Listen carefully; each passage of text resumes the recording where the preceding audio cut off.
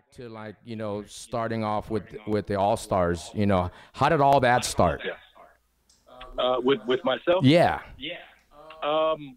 Well, I, I as you saw in the video that you that you played, um, I was solo. Um, about I'd say about 11, 11 years ago or so. I moved. I moved. I relocated from Michigan, um, to Texas, and I, I you know was doing my thing solo. Um, I won some awards, released some albums with with uh, with my old my old uh, promotion team, Starboy Entertainment. Shout out to those guys. Um, we all moved here together, man, and just packed up packed up our bags and you know just just went for Wow. it. You know, and, and me for myself personally, um, you know, going back to you know to high school and childhood. I, I mean, I, I followed certain artists. Um, obviously, Selena was one of them. She was, uh, you know, one of my, uh, you know, inspirations as an artist. Um, obviously, I, I, you know, after everything had happened, I followed AB and the Kumbia Kings, and I used to watch up north from Michigan.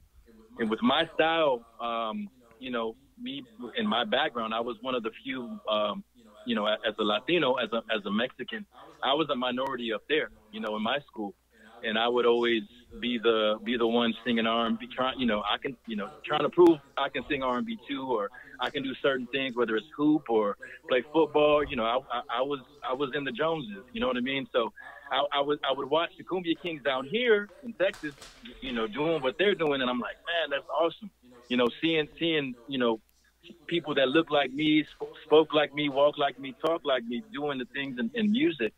And I always, I always wondered or, or, or wanted, you know, goal of mine was to, to somehow find a way to work with AB, you know. Um, and for, fast forward, you know, to now, um, you know, one of my goal was to get his attention. Right. Um, and when I won the awards, the the best female artist at the TMAs, and then following year I won male vocalist of the year.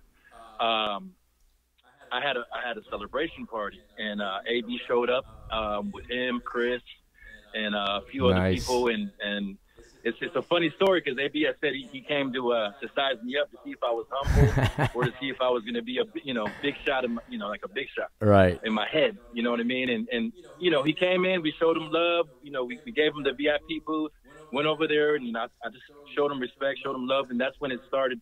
When he basically was just going to start producing for me, and uh, that was the first step. Um, so we did. I don't know if you saw the video I sent you, Esperándote. Um, that was the first song that he produced for me, uh, alongside Gilbert Velasquez. Um, AB came in from Corpus, produced. The song went well. We released it.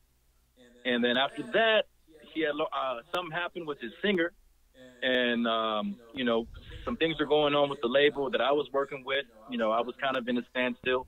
So timing, it, it kind of happened, and it linked up. And he he said, "Hey, look, you know, I need a singer. You know, you're you're you're at where you're at. I can help you out. We can kind of help each other out. It was supposed to be temporary, and I joined up with the Kumbia All Starz for a few shows.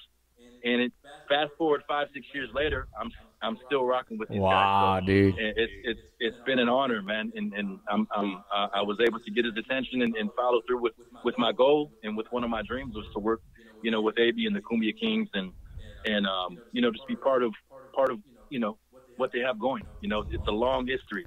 It is, Uh, man. So It is a I'm, long I'm history. always honored to, to share the stage and be on the stage with these guys. So. Party people, party people,